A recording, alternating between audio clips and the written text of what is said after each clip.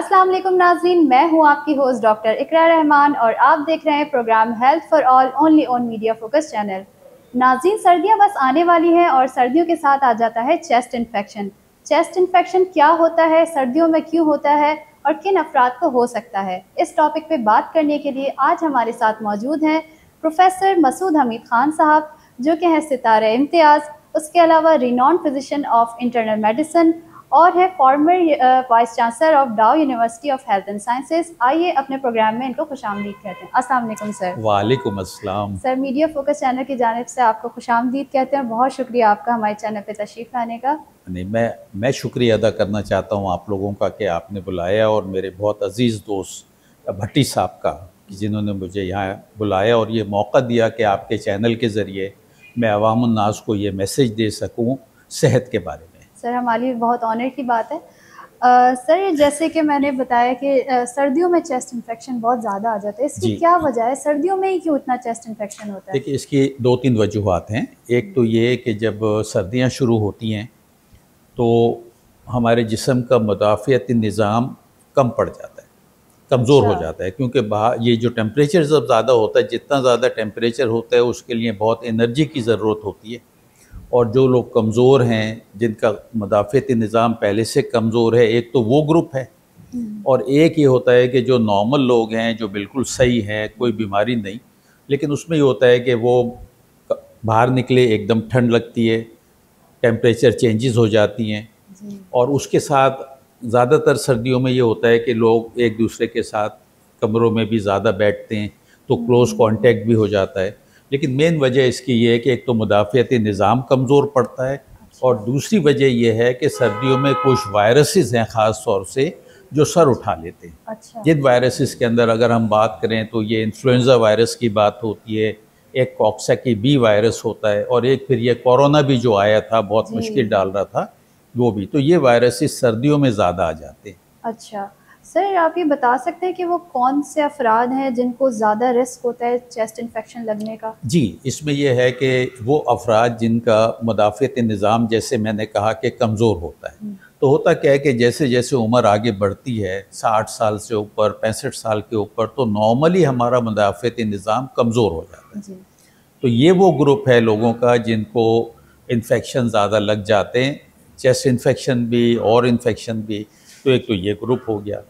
दूसरा वो होता है जिसके अंदर पहले से कोई सीने की बीमारियाँ हैं जैसे दमा है एक हम कंडीशन कहते हैं सी ओ पी डी कहते हैं यानी जिसमें बलगमी मिजाज जो कहते हैं वो चीज़ हो या वो लोग जो सिगरेट पीते हैं अच्छा।, अच्छा इसके अलावा और भी वो ग्रुप है जिनमें बीमारी ऐसी होती हैं जिनसे उनका सिस्टम कमज़ोर हो जाता है जिसके अच्छा। अंदर ज़्याबतीज़ है फॉर एग्ज़ाम्पल तो ज़्याबतीज़ के मरीज़ों के अंदर वैसे ही आप देखेंगे अगर कोई इन्फेक्शन भी हो जाए हम्म।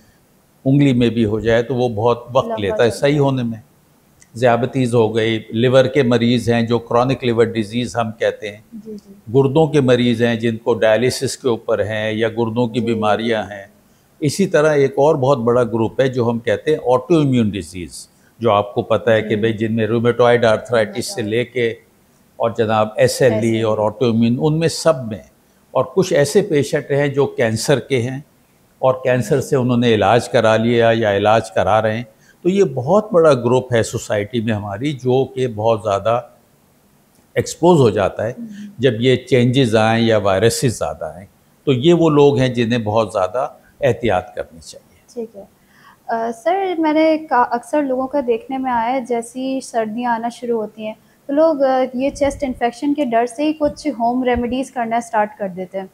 कोई सूप बना के कोई वो शहद के साथ काली मिर्च मिला के गर्म करके पीना तो ये सही तरीका या इसके लिए कोई मेडिकल साइंस ने कोई प्रॉपर कोई प्रिवेंशन का तरीका रखा है कि हाँ इसमें देखिए मेडिकल साइंस जो प्रिवेंशन का तरीका बताती है वो तो इम्यूनाइजेशन के ज़रिए अच्छा। अब ये सीने के अमराज के लिए इम्यूनाइजेशन जो है वो दो सजेस्ट की जाती हैं। एक तो फ्लू वैक्सीन क्योंकि जैसे मैंने कहा ये इन्फ्लुएंज़ा वायरस बढ़ जाता है सर्दियों में तो हर साल सितंबर अक्टूबर में ये फ्लू वैक्सीन आती है। नई बनती है हर साल अच्छा। और वो हर साल आती है। तो ये जो ग्रुप हमने आपसे बात करी कि जो जिनको ज़्यादा होता है सीने के अमराज का सर्दियों में उनको चाहिए कि ज़रूर वो ये वैक्सीन करवाएँ।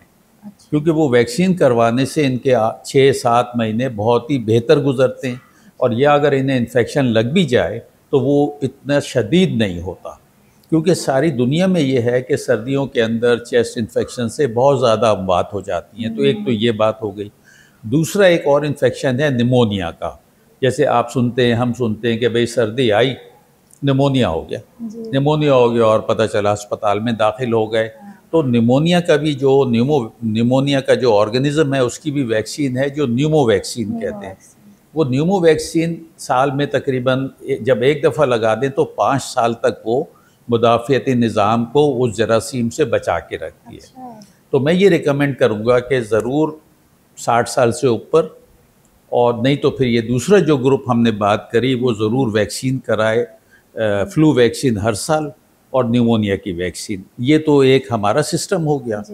दूसरा एलोपैथिक सिस्टम में हम ये कहते हैं कि जैसे कोरोना में सब लोग तालीम याफ्ता हो गए थे कि भाई जब छींक आ रही है तो फ़ौर अगर हम यहाँ बैठ के छींकते हैं तो आप बैठे हैं यहाँ तक है ये वायरस या जरासीम उड़ेगा और लग जाएगा।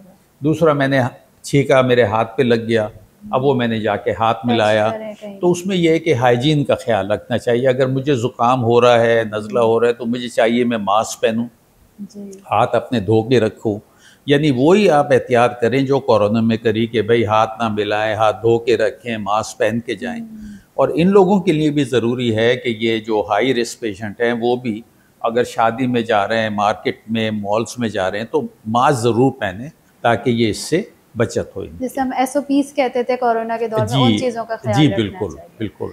अच्छा सर एक और चीज़ देखने में आती है जैसे चेस्ट इन्फेक्शन के हवाले से और भी किसी बीमारी के हवाले से कि अगर किसी को खाते हुए देख लिया एंटीबायोटिक तो बस खुद भी वही लोगों ने स्टार्ट कर देंगे हाँ, कि उसने उसने खाई थी एंटीबायोटिक उसका इन्फेक्शन ठीक हो गया मुझे भी यही खानी है। नहीं ये देखो भाई ये तो एक पाकिस्तान में बहुत ही बड़ा प्रॉब्लम है जिसे हम कहते हैं ये दवाइयाँ यहाँ एक तो ओवर द काउंटर मिल जाती हैं। जो। भी दवाई आप ले लें लेकिन दुनिया भर में कहीं ऐसा नहीं है। आप किसी मुल्क में चले जाएँ वो कहते हैं भाई प्रिस्क्रिप्शन लाओ हम दवाई देंगे। प्रॉब्लम इसका ये हो रहा है कि देखिए जो हम वायरसेस की बात कर रहे हैं उनमें तो एंटीबायोटिक की ज़रूरत ही नहीं। वो तो पाँच दिन सात दिन में खुद ही ठीक हो जाएगा जो सीने का आ गया। आपको उसमें चाहिए कि भाई आप विटामिन ले लें आप अच्छी खुराक जो आपने बात करी यखनी ले लें ये कर लें इनटेक अच्छा रखें अपना। अब दूसरी बात ये आ जाती है कि जो ये एंटीबायोटिक लेके खा लेते हैं वो वायरस वैसे ही ठीक हो रहा होता है पाँच दिन में। हम्म। वो समझते हैं ये दवाई से ठीक हो गया वो भी अपने घर में किसी को वो वो दे देते हैं। लेकिन नुकसान उसका ये होता है कि ये गैर ज़रूरी एंटीबायोटिक देने से जब कभी उस एंटीबायोटिक को मरीज़ों में दिया जाता है तो वो फिर रेजिस्टेंस हम कहते हैं तो जरासीम की क़वत मुदाफ़त बढ़ जाती है। फिर वो रिस्पॉन्ड नहीं करती। और इसकी सबसे बड़ी मिसाल मैं आपको दूँगा टाइफॉइड की।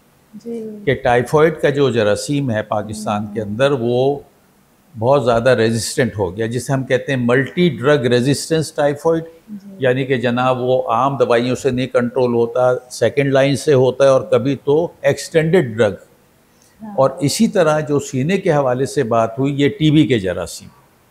कि टीबी की दवाइयाँ उन्होंने ली थोड़े दिन छोड़ दी फिर ली फिर छोड़ दी तो ये बहुत बड़ा मसला बन जाता है। तो मैं आपके प्रोग्राम के तवसुस से नाजरीन को ये बताना चाहूँगा कि नहीं भाई आप एंटीबायोटिक नहीं चाहिए आप पैनाडोल ले लीजिए आप बुखार उतारने की कर लें आप कोई अपने सूप ये चीज़ें ले लीजिए एलर्जी की कोई दवा ले लें लेकिन अगर आप समझे एंटीबायोटिक की ज़रूरत है तो वो उस वक्त अगर आप लेना चाहते तो ले कि जब बलगम पीला हो जाए अच्छा।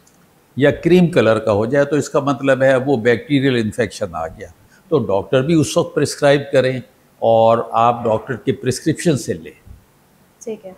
अच्छा सर चेस्ट इन्फेक्शन के हवाले से छोटा मोटा इन्फेक्शन तो लोग दो तीन दिन में जो रिजॉल्व हो जाता है। वो सभी बर्दाश्त कर लेते हैं लेकिन अलार्मिंग साइंस ऐसे क्या है कि फ़ौरन रश टू द हॉस्पिटल आपको फिजिशियन के पास जाने ही जाना है देखिए अलार्मिंग साइंस में ये कि अगर सांस लेने में मुश्किल हो रही है आप बैठे आराम से और पता सीने में दर्द हो रहा है। तेज़ बुखार हो रहा है बलगम के अंदर खांसी के अंदर बलगम ऐसा आ रहा है जो पीला है या जिसके अंदर जिसे कहते हैं हम हल्का सा खून आ रहा है। हम्म, हम्म। तो वो अलार्मिंग साइन ये बन जाती हैं कि भाई इसके अंदर जनाब ये तो ज़रूर आपको जाके इलाज करना है एक्सरे कराना है। या बड़ी उम्र के लोगों में ये इन्फेक्शन के साथ ये होता है कि वो अपने याददाश्त उनकी फ़र्क पड़ जाती है ज़्यादा नींद आने लग जाती है। अच्छा। तो ये सारे इस तरह की अलामतें हैं कि फ़ौर हमें चाहिए कि भाई डॉक्टर से भी रिजू करें और इलाज कराएँ। अच्छा। आ, सर एक कॉमन क्वेश्चन लोग अक्सर पूछते हैं किसी भी डॉक्टर के पास चले जाएँ कोई भी बीमारी हो जाए एक सवाल ज़रूर करते हैं और मुझे लगता है यहाँ भी करना चाहिए। लोग पूछते हैं डॉक्टर साहब खाने में क्या एहतियात है? खाने पीने का बता दें। देखिए बात यह कि ये हमारा माहौल इस तरह है पाकिस्तान का। पाकिस्तान में आप जाएँ कहीं भी मेहमान बन के जाएँ तो बात खाने से शुरू होती है। खाने पे ख़त्म होती है। और हम अपनी मोहब्बत का इजहार भी लोगों से जो मिलने आते हैं ना बाहर से या इधर से हम भाई खाना खा लो बस। हाँ। अब इसके लिए हमारा जो क्योंकि वो टैबू बन गए ना तो अब मैं जैसे दिन रात काम कर मैं अपने मरीज़ों की अब वो जनाब कहेंगे डॉक्टर साहब मैंने कहा भाई आप ये ये खा लो फिर सवाल आ जाता है हम ये खा लें ये खा लें। लेकिन मेरा ये ख्याल है कि अगर जो बहुत बिज़ी प्रैक्टिशनर है उन्हें चाहिए कि अपने एक लिस्ट बना के एक प्रिंट हम्म। आउट करवा लें और वो बताएँ। अब खाने में जो होता है देखें सीने के अमराज के अंदर अमूमन हम ये कहते हैं ये खट्टी चीज़ें और बहुत ज़्यादा ठंडी चीज़ें। इनसे क्या होता है जैसे भी आप भी करें जो बहुत ज़्यादा बर्फ़ वाला यक ठंडा पानी पी लिया गला बैठ सकता है। क्योंकि अभी हम सर्दी की बात कर रहे हैं। हम्म। खट्टी चीज़ों पे भी ऐसे होता है और कभी कभी इस तरह एसेंस डालते हैं केमिकल डालते हैं कि गला पकड़ा जाता है। तो उनके लिए हम ये कह देते हैं। फिर कुछ ऐसे जैसे केला है केले के साथ एलर्जी ज़्यादा होती है अच्छा। लेकिन कहीं डॉक्यूमेंटेड नहीं है। तो ज़्यादातर तो हम खट्टी ठंडी चीज़ों की एडवाइस करें उनको कि भाई नहीं लें। लेकिन कभी होता है उनके साथ उनकी साथ दूसरी बीमारियाँ हैं जैसे शुगर है हाई ब्लड प्रेशर है तो उनको हम कहते हैं कि भाई जो आप पहले परहेज़ कर रहे हैं वो करते रहें। हम्म। इसके लिए ज़्यादा आप अपना इस चीज़ का परहेज़ करें। तो डॉक्टरों को चाहिए कि बताएँ बात करें कि आपके घर में जो बच्चे हैं बड़े हैं उनको ये वायरस लग सकता है। तो आपको चाहिए कि घर में भी मास्क पहने छीकें। हम्म। और अगर आपके पास रुमाल नहीं है तो हाथ ऐसे कर लें। ताकि वो छीक का जो वायरस है वो दूर ना जाए। तो हमें ये एजुकेशन ज़रूर देनी चाहिए जो मैं सोच रहा हूँ कि आज आपके प्रोग्राम के तवसत से मुझे मौका मिला कि ये सर एक आखिरी सवाल मैं करना चाहूँगी कि सर्दियाँ आते ही कफ सिरप की डिमांड बड़ी बढ़ जाती है। कोई से भी रंग का कफ सिरप हो लोगों को लगता है शायद उससे पीने से कोई मेंटली सेटिस्फेक्शन होती है कोई कोई कहते हैं कि उससे नींद आती है हमें नींद अच्छी आ जाती है इस वजह से हम वो इस्तेमाल करते हैं। नहीं उसमें देखो बात यह है कि हमारी आबादी पाकिस्तान की जो है चौबीस करोड़ के करीब है। कफ सिरप मैंने जो देखा है ना वो ये देखा है कि अमूमन वही लोग लेते हैं जिनका जैसे गला बैठ गया गला हम्म। ख़राब हो गया तो वो जाके स्टोर से ले लेते हैं कि भाई हमें खांसी का शरबत दे दो। हम्म। उसमें अमूमन ये मिलाते हैं एंटी हिस्टामिन मिली हुई होती है तो वो थोड़ा उनको फ़ायदा हो जाता है। तो मैं समझता हूँ कि कफ सिरप वैसे तो हर चीज़ डॉक्टर के साथ जाके करनी चाहिए डॉक्टर मशवरा दे लेकिन अगर थोड़ी बहुत खांसी अब हमारा माहौल ऐसा हो गया कि वो डॉक्टर के पास भी नहीं जाना चाहते या अफोर्ड नहीं करना चाहते फार्मेसी पे जाते हैं फार्मेसिस्ट उन्हें दे देता है। तो डिमांड मैं समझता हूँ कि वो उनको जो और लेकिन उसकी रीज़न भी ये है कि हमारे यहाँ प्रिवेंशन का कोई सिस्टम नहीं है। इसलिए ये ज़्यादा खांसी और ये होती है। और ये भी आप देखिए कि अच्छी अच्छी जगह आप चले जाएँ डॉक्टर्स के क्लिनिक में चले जाएँ दस मरीज़ बैठे किसी को खांसी है तो वो ये नहीं कि भाई मास्क डॉक्टर साहब के यहाँ लगा ले हम्म। या एहतियात कर ले। तो यहाँ सबसे ज़रूरी जो बात आएगी पाकिस्तान के जो मेडिकल मसाइल का हल है ना भाई वो है प्रिवेंशन के अंदर। कि हम इन्हें सिखाएँ कि भाई अगर ज़ुकाम है तो भाई आप ऐसे कर लो एक मास्क दो रुपए का पहन लो या अपने हाथ धोते रहो। तो इस पर मैं ज़रूर चाहूँगा और आपके तवसुस से और इस चैनल के तवसुस से आपके जो असदुल्ला भट्टी साहब है रूए रवा इस चैनल के उनको मैं दरख्वास्त करूँगा कि आप इस चैनल पे एक प्रिवेंटिव मेडिसिन का प्रोग्राम शुरू करें। लोगों को हम ये बताएँ आप बताएँ कि यार ये जो बीमारियाँ हैं वो भी बहुत सारी हैं। क्योंकि अगर हम प्रिवेंशन पे नहीं जाएँगे तो पाकिस्तान ये बीमारियों को कंट्रोल जो हाल हो रहा है आपके सामने तो ये चलता रहेगा।